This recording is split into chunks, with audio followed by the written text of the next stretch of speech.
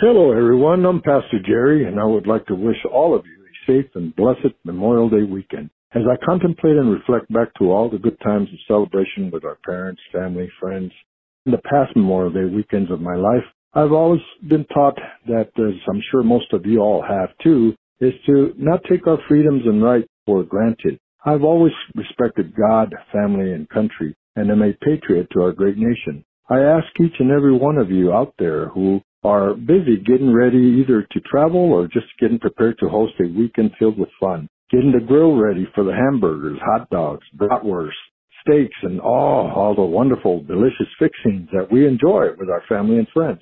It is a great feeling to enjoy a great meal and drinks and be with friends and playing cards and playing other games or doing whatever, watching a good movie or good sports.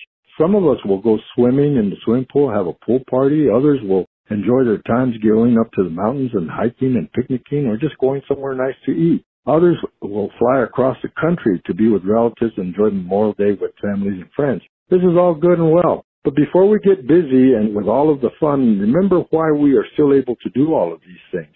We need to remember those heroes who sacrificed their lives for all of us to be able to live in freedom.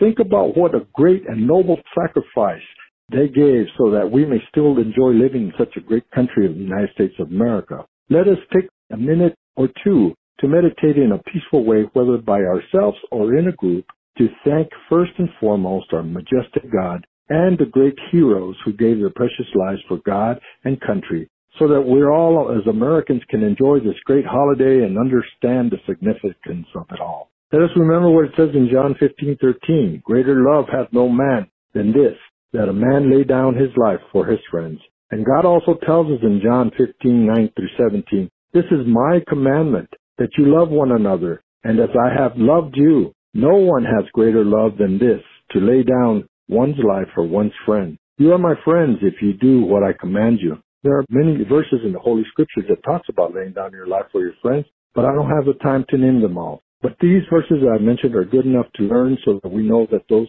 brave men and women that laid their lives down are now with God. So with that said, go out and have a safe, wonderful, good time and remember all of those who sacrificed their lives that we enjoy this great celebrations and freedoms today in our great country. God bless America. God bless you and your families and have a great Memorial Day weekend. Shalom.